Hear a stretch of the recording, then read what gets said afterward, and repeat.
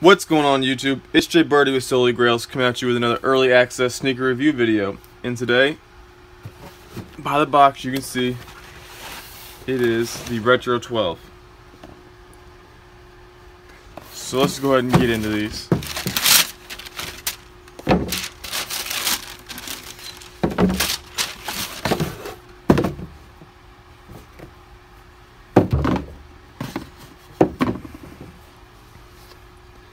And here it is. The Deep Royal or the Blue Shade 12, whatever you want to call them. Um, these are set to come out as of right now on November 12th. So keep an eye out for that. Also, really do pay attention because you never know. Jordan Brand may push the release date back because they have been known to do that. More recently, however, their shoes have maintained the release date that they originally gave them. So just be prepared for that. Like I said, November 12th, $190 like any other retro. But let's get a little more into the shoe. Actually, the whole shoe itself is the deep royal color. Um, they have the white accents here on the tongue. And so then you have the, the gray and then the white accents here on the bottom. And of course you have the white 23 on the back and then on the heel tab here you have it written in gray. With this shoe though, it does have a really nice suede upper. I mean, it, it is very buttery, very soft. So they did do a good job with the material here at least. And you can really see when you kind of get in the right light, it does, uh, it does change the material. It does have a nice cut to it. Um, has the blue mud guard on it, like any other 12. Uh, this one, material-wise, I think is actually a lot better than some of the other ones we have seen so far. And it does feature the the blue sole to match that uh, mud guard. You got and written in all blue here on the uh, tab on the inside and the outside.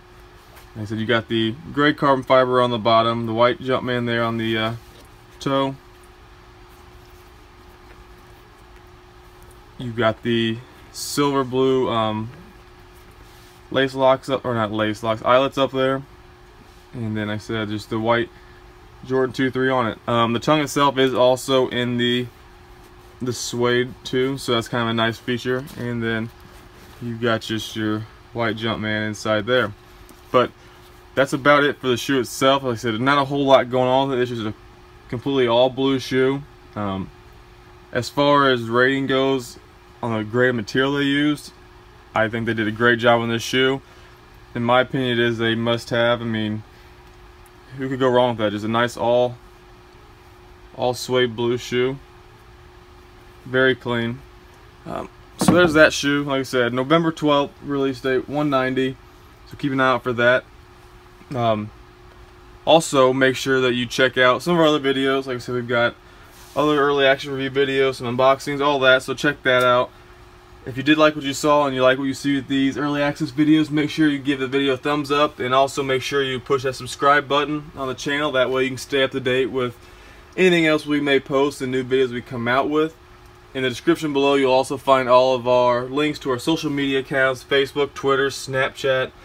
It's all down there, Instagram. So go check those out and uh, give us a follow on there too. But uh, let us know what you guys think about these. In my opinion, I think they're going to fly off the shelves, so make sure you don't sleep on the 12th. Get out there and get you a pair. I think you would regret it later on if you don't end up getting a pair. But uh, like I said, let us know what you think in the comments below if uh, it's something you're going to go for or not. Like I said, an all blue shoe, some people may not be a, a fan of. But just let us know what you think. But at the end of the day, like we always say, wear what you love. This is Jay Birdie, Holy Grail, signing out.